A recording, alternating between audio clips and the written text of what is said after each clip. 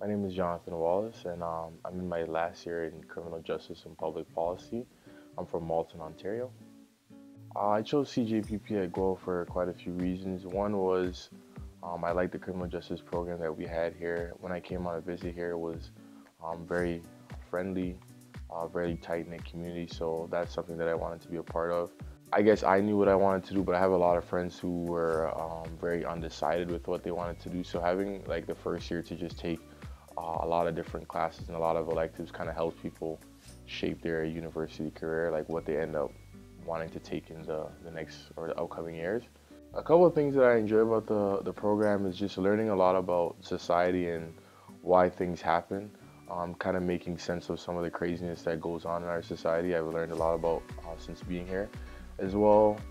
Uh, I've had a prof, Ian Spears, that has just really like been a great impact on my life and just his influence has been good for me as well being here too. So, yeah, um, I'm actually a part of the student athlete mentorship program with um, helping athletes who come in try to help them get um, acclimated with some of the stuff that are going on on campus, get them connected with stuff like writing services, um, even counseling services, health services, all that type of stuff so they know where things are on campus, know how to access stuff in the library. Um, and then we work with some older athletes as well who have struggled in school for whatever reason or maybe have tough classes um, to try to help them bounce back. So it's like a very specific program for athletes. Well, my first plan um, is to get into law school. So I've applied to law school and um, I'm working on writing my LSAT again. Um, a little bit after that, I would really like to work with athletes and be kind of like a sports agent where I deal with athletes' contracts and stuff like that. So that's kind of the long-term goals that I have.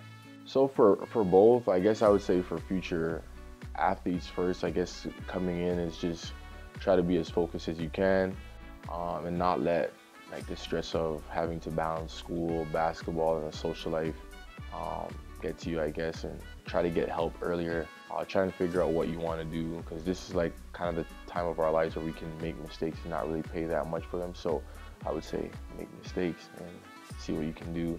I think it builds a lot of character and you help kind of grow uh, through some of those mistakes and through some of those learning experiences. So just exploring as many different possibilities and options you can.